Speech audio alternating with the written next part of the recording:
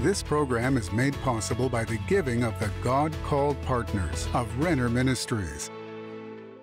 Well, friend, here I am still seated on the probable ruins of Noah's Ark. But as I've told you, for me, it's not probable. I really believe these are the ruins of the real Noah's Ark, which landed in the lower mountains of Ararat. The Bible does not say that the ark landed on the Mount Ararat. Ararat at that time was a very large mountain range, and what today is called Mount Ararat was not even called Mount Ararat at that time. This was just a large mountain range. And the Bible says very precisely that the ark came to rest in the mountains of Ararat. Well, that's where I am, and that's where this ship formation is. But the reason that God sent the flood was because the earth had been corrupted. Mankind had been corrupted because of a strange mixture between angels and women, and the women gave birth to giants. And the Bible tells us about that in Genesis chapter 6, verse 4. And there were giants in the earth in those days, and also after that, when the sons of God came in unto the daughters of men, and they bare children to them, the same became mighty men, which were men of old, men of renown. And God saw that the wickedness of man was very great in the earth. So these giants brought real violence, corruption, and wickedness into the earth. Well, what do we know about these giants outside of the Bible? You may say, ah, it's just a biblical myth. Well, what do we know about what other ancient voices said about these giants. And because ancient writers wrote a lot of information about past history, today we're going to be looking very specifically at what ancient voices really said about the giants which once populated the earth before the flood. It's going to be amazing. That is what I'm going to be talking to you about today. Stay tuned for a teaching you can trust, a message that will inspire, strengthen, and equip you with vital insights and understanding from the Word of God. Here is Rick. Welcome to today's program, my friends. This is Rick Renner. I've been sitting in this chair just waiting for this moment so we can return to our study about fallen angels, giants, monsters, and the world before the flood. It's my brand new 15 part series that I really want you to have. Hey, I'm so serious about teaching this series. I went all the way to the mountains of Ararat to document the ruins of Noah's Ark. My friends, I really want you to see what the Bible teaches and to understand this is not a legend, it's not a fantasy, it's not mythology. This is really an event that took place. But the series that I want you to order is called Fallen Angels, Giants, Monsters in the World Before the Flood. There is no way you can just recall everything by just hearing the program every day. You need to hear it and hear it, see it and see it, really study it. You know, Jesus said, that as it was in the days of Noah, that's the way that it will be before the coming of the Son of Man. And that's why I'm teaching this series. Whatever was happening before the flood is going to be replicated just before the coming of Jesus, which means a lot of the nonsense we're seeing today is a repeat. And my friends, according to the words of Jesus, it's going to get even more bizarre before Jesus comes. So we need to go back into the past and see what occurred before the flood. And that's why I want you to have this series, which comes with a tremendous study guide. You will just devour it. And right now, we're also offering you a book by Dr. Dennis Lindsey, a book that I read in one setting from cover to cover. It's called Fallen Angels, Giants, and the Return of the Nephilim. This book is tremendous. You will just devour it. And if you consider yourself to be a lover of the Bible, this will answer a lot of questions for you. You know, today, if you watch certain TV programs, they talk about ancient aliens and ancient alien theorists, and they come up with all these ideas about aliens who came to the earth.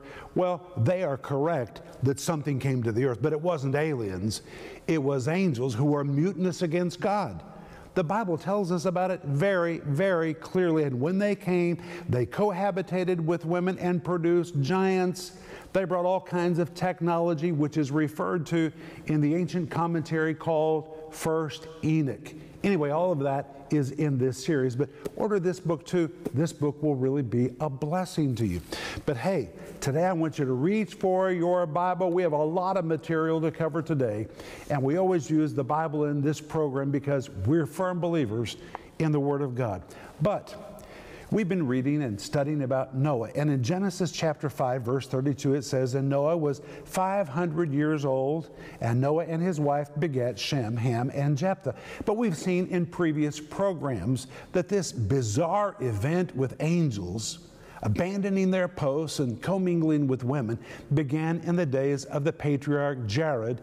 Jared was the great great grandfather of Noah. He gave birth to Enoch. Enoch was the great grandfather of Noah. He gave birth to Methuselah, who was the grandfather of Noah. Methuselah gave birth to Lamech, who was the father of Noah. Finally, we come to Noah. Now, all of these events apparently begin to happen during the days of Jared. Enoch walked with God. He was the first prophet. Methuselah's name was prophetic. It means when he dies, then it will come, speaking of the judgment. And all of these prophetic words and revelations had been passed from one patriarch to the next to the next. God was revealing step by step that eventually a time would come when he would deal with these mutinous angels and the violence and the corruption that had defiled the earth. And this leads us to Hebrews 11, verse 7, which says, By faith, faith, Noah, being warned of God of things to come, uh, things not seen as yet, moved with fear and prepared an ark to the saving of his house. Well, we certainly know from Genesis chapter 6 that God spoke directly to Noah. But in addition to that, Noah came from a family line that was filled with prophetic individuals. He knew the words which had been given to Jared, he knew the words which had been given to Enoch, he knew how these prophetic words had been given to Methuselah, passed on to his own father, and finally to him. And it makes me wonder how much of this warning that he received from God was not just what he directly heard, but it was because of the godly influence of his predecessors who instructed him and told him, God has told us that a judgment is coming. And my friends, this shows me how one generation can pass the Word of God and a revelation from generation to generation. And it makes me want to ask you, what are you doing to pass the Word of God? Onto your children.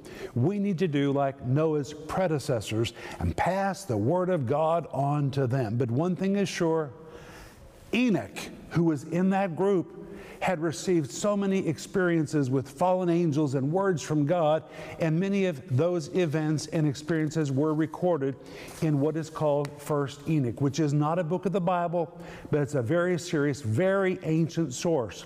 But when you come to Genesis chapter 6, verse 1, again we see the Bible says, And it came to pass when men began to multiply on the face of the earth, and we've seen that by this time there were millions of people. Verse 2 and daughters were born unto them. The sons of God saw that the daughters of men that they were fair, and they took wives of all that they chose. And the result of this is in Genesis chapter 6, verse 4, which says, There were giants in the earth in those days. The word giants is the word Nephilim. I'm going to give you the meaning of that word in just a moment. And there were giants in the earth in those days, and also after that, when the sons of God, or these mutinous angels, came in unto the daughters of men, and they bare children to them, the same became mighty men which were of old men of renown. These angels and women produced an unnatural offspring, produced giants, monstrous beings, which the Bible calls giants, which in Hebrew is the word Nephilim. And the word Nephilim means fallen ones. It describes those that were physically enormous, those who possessed unnatural strength, and who propagated evil and violence. They were immense in size, they were enormous. We know that when they spoke, their sound was simply terrifying. And a linguistic study of this word Nephilim really means they were giant and they were monstrous and they were the Nephilim, they were the fallen ones, they were an aberration. There was nothing normal about them. Now, somebody might say, ah, oh, it's just all mythology. No, no, no, it isn't. In fact, today I'm going to be quoting what ancient sources wrote about the fallen angels and the giants. But when you come to Genesis 6, verse 5, it says, God saw the wickedness of man that was great in the earth, and that every imagination of the thoughts of his heart was evil continually. Verse 6. And it repented the Lord that he had made man on the earth, and it grieved him at his heart. Verse 7. And the Lord said, I will destroy man whom I've created from the face of the earth, both man and beast, and the creeping thing and the fowls of the air, for it repented me that I've made them. Verse 11. The earth also was corrupt before the Lord, and the earth was filled with violence. Violence. Wow.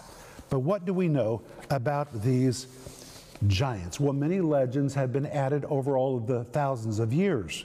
But if we go back to early history, we find that there were notable voices who wrote many things about the fallen angels that produced giants. And today we're going to begin with Josephus, and I'm going to be reading a lot to you because I want you to see, my friends, this is not the byproduct of a wild imagination or just fiction. These are historical events that were spoken of by early historical sources. Josephus said, for many angels of God accompanied with women, and begat sons, and proved unjust and despisers of all that was good on account of their confidence that they had in their own strength. For the tradition is that these men did what resembled the acts of those whom the Grecians called giants. The giants had bodies so large and countenance so entirely different than other men that they were amazing to the sight and terrible to the hearing. The bones of these men are still shown to this very day, unlike any credible elations of other men. Then we have the writings of Clement of Alexandria, who said, Angels partook of human lust. And being brought under its subjection, they fell into cohabitation with women. But from their unhallowed intercourse, spurious men sprang much greater in stature than ordinary men, whom they afterwards called giants wild in manners, and greater than men in size, inasmuch as they were sprung of angels, yet less than angels, as they were born of women. And not being pleased with purity of food, they longed only after the taste of blood, wherefore they first tasted flesh. All things, therefore, going from bad to worse on account of these brutal demons, God wished to cast them away like an evil leaven, lest each generation from a wicked seed, being like to that before it and equally impious, should empty the world to come of saved men. And for this purpose, having warned of a certain righteous man and his children to save themselves in an ark, he sent a deluge of water that all being destroyed, the purified world might be handed over to him who was saved in the ark in order that there might be a second beginning of life. And thus it came to pass. That is amazing. Look at the clarity with which Clement of Alexandria wrote about these early events. And then we come to Irenaeus. And Irenaeus said, for a very long while, wickedness extended and spread and reached and laid hold of the whole race of mankind until a very small seed of righteousness remained among them. And unlawful unions came about on earth as angels linked themselves with offspring of the daughters of men, who bore to them sons, who on account of their exceeding great size were called giants. The angels then brought to their wives as gifts teachings of evil, for they taught them the virtues of roots and herbs and dyeing and cosmetics and discoveries of precious materials, love philtres, hatreds, amours, passions, constraints of love, the bonds of witchcraft, every sorcery and idolatry hateful to God.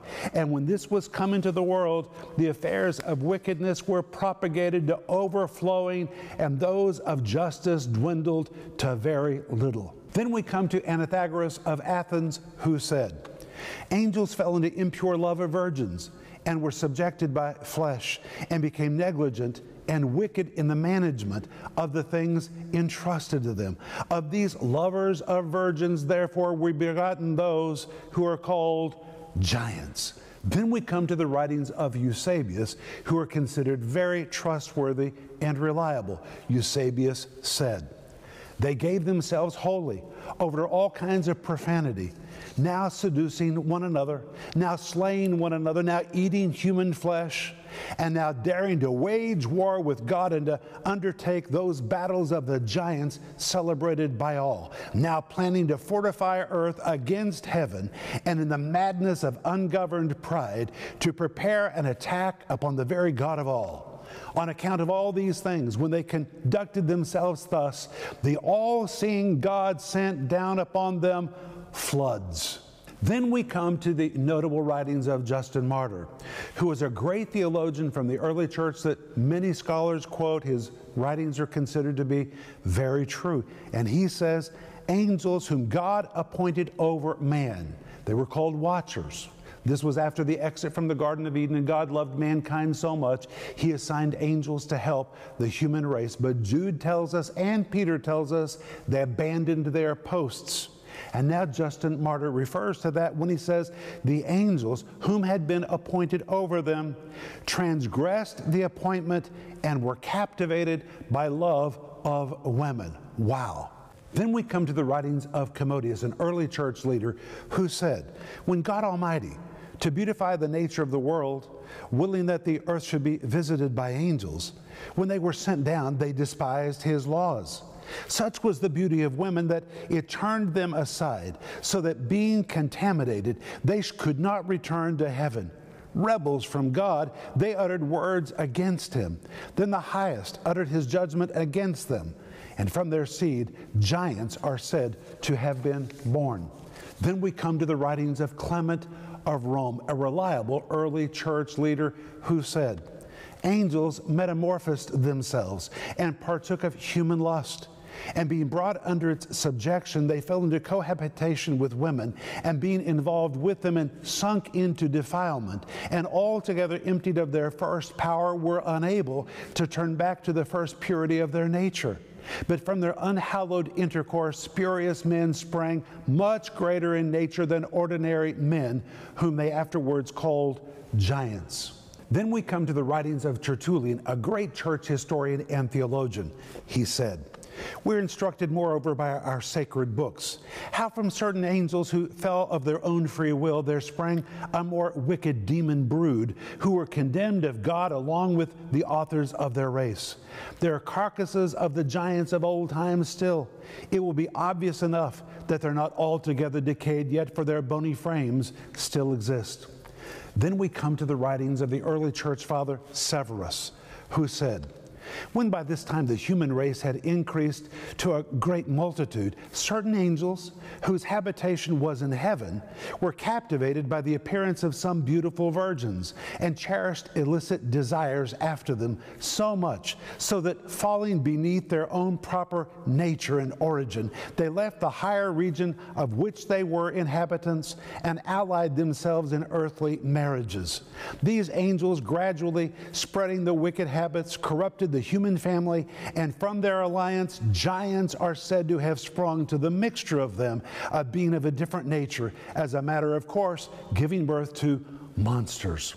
Then we come to the writings of Tatian, who said, Angels transgressed their appointments and were captivated by the love of women, and begat children who are those who are called demons. And besides, they afterwards subdued the human race to themselves, partly by magical writings and partly by fears and the punishments they occasioned, and partly by teaching them to offer sacrifices and incense and libations. It goes on to say, and afterwards they sowed murders, wars, adulteries, intemperate deeds, and all wickedness. Then we come to the writings of the great theologian Jerome. And Jerome wrote, for when the first tiller of paradise had been entangled by the serpent in his snaky coils and had been forced in consequence to migrate earthwards, afterwards sin gradually grew more and more virulent till the ungodliness of the giants brought in its train the shipwreck of the whole world. That is Jerome. But then we come to writings which are contained in the book of the Jubilees, which is another very early document, which most scholars believe predated the flood, which means Noah carried it onto the ark with him. Listen to this. The book of Jubilees says, And in the second week of the tenth Jubilee, Mahalalel took unto him to wife Dinah. And she bare him a son in the third week in the sixth year, and he called his name Jared. This is one of the predecessors of Noah, his great, great, great grandfather. For in his days, the angels of the Lord descended on the earth, those who are called the watchers. They that should instruct the children of men that they should do judgment and uprightness on the earth. But the watchers sinned with the daughters of men. For these had begun to unite themselves so as to be defiled with the daughters of men, and even Enoch testified against them. But Noah found grace before the eyes of the Lord. And against the angels whom he had sent upon the earth, God was exceedingly wroth and gave commandment to root them all out of their dominion. After this, they were bound in the depths of the earth forever until the day of the great condemnation, when judgment is executed on all those who have corrupted their ways and their works before the Lord. My friend, the reason I'm reading all these ancient sources to you is I want you to understand that the events we read about in Genesis chapter 6, verse 1, 2, and 4 are real events, describing a bizarre moment when angels, watchers, which God had sent into the earth to help mankind after the fall and the exit from the garden. They began to look upon women and saw they were so beautiful that they abandoned their posts and began to sexually intermingle with women who then gave birth to giants that filled the earth with corruption and violence. And there is historical record after record after record that tells us these events really took place. Wow, it is amazing. And that is the reason why God sent the flood. The flood was God's plan to cleanse the earth and to start all over. God was going to uproot all of the violence, all the evil, all of the corruption, and put Noah and his family back in the very same place where life first began and start all over. It is amazing. Ah, but we're just getting started. I am so excited to get back to the next program. But my friends, I pray you're learning a lot from this series. We're just getting started. But I want you to understand the Bible is reliable. And if the Bible says it happened, then it really, really happened. But hey, I'll be back in just a moment, and I'm going to pray for you. Finally, Rick Renner has unlocked the mystery surrounding the sons of God and the giants that appeared in the earth before the flood during the days of Noah. To film this riveting series, Fallen Angels, Giants, Monsters, and the World Before the Flood, Rick and his team traveled to eastern Turkey to the ruins of Noah's Ark. In this series, Rick dives deep into the scriptures to give you answers about who are the sons of God in Genesis 6 1 and 2? What does the promise of 120 years really mean? Where is the real location of Noah's Ark today? Rick says, This is the series I've wanted to teach for decades. With the research we conducted at the real Noah's Ark, along with amazing historical records, I believe this long awaited series will answer a multitude of questions for people who have wondered about the strange events that occurred before the flood and what Jesus said about them being repeated at the end of the age. This 15 part series is available in digital or physical formats, starting at just $24. In addition, we're offering Dennis Lindsey's astounding book, Giants, Fallen Angels, and the Return of the Nephilim. This book will amaze you and open your mind to mysteries hidden in the Bible that have great impact on our world today.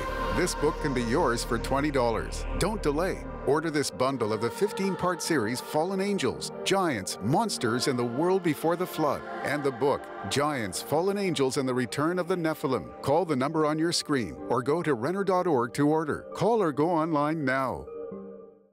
Hey friends, this is Rick Renner, and I'm standing outside the new TV studio in Moscow. Praise God, most of the interior is already finished. They're still working on Denise's studio, so pray for us as we continue. It's going to be nice. And if you see the big bulldozer behind me, that's because they're getting ready to do the parking lot. You know, winter comes pretty early in our part of the world, so we need to really seize the moment and get this parking done before the cold weather sets in. But hey, we're making progress and praise God, the studio is paid for. This is all paid for. And I want to say thank you for being the most amazing partners and helping us with this. And now, the project in front of us is to pay off the Tulsa facility. We want to retire the debt on the big office complex in Tulsa because when that's paid off, suddenly all those finances are going to be released for us to go on more TV and minister to people all over the world. My friends, the Bible tells us in Proverbs 10:21 that the lips of the righteous feed many. I know that's my assignment to feed as many people the Word of God as possible, and I'm doing it with you. Wow. Thank you for being a partner. You're part of the giving team that's helping us make amazing progress. And if you're not a part of the giving team yet, please pray about joining us to retire the debt on the Tulsa building. It's not about buildings, it's just about having the space we need so that we can effectively minister to people. We want to retire that debt so we can take the Word of God to more parts of the world where people are crying out for teaching they can trust. And I want to say thank you for everything you do.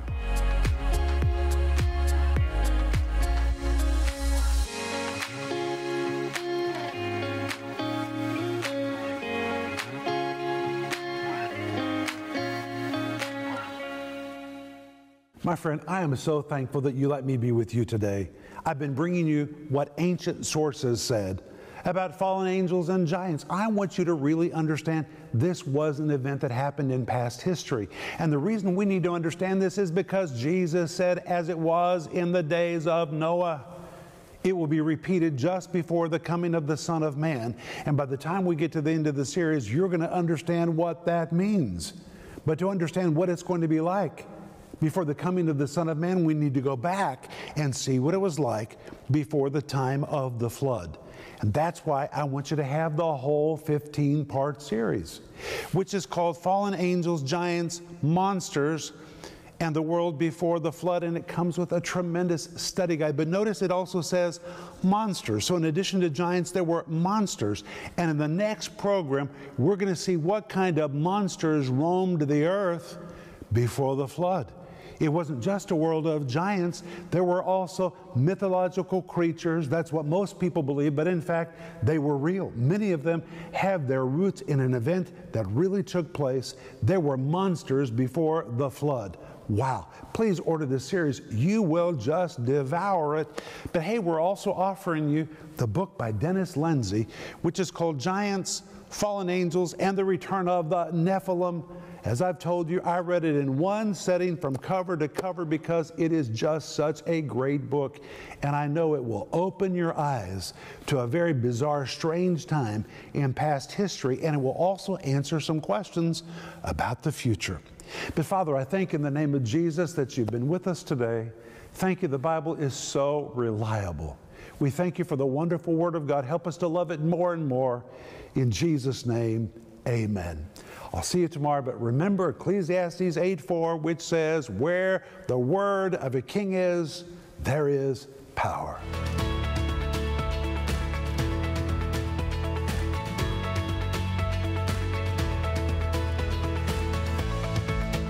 Renner Ministries is proclaiming the gospel of Jesus Christ through every available media to the uttermost parts of the earth. Discover the many ways you can help us make a difference in lives around the world with the Word of God.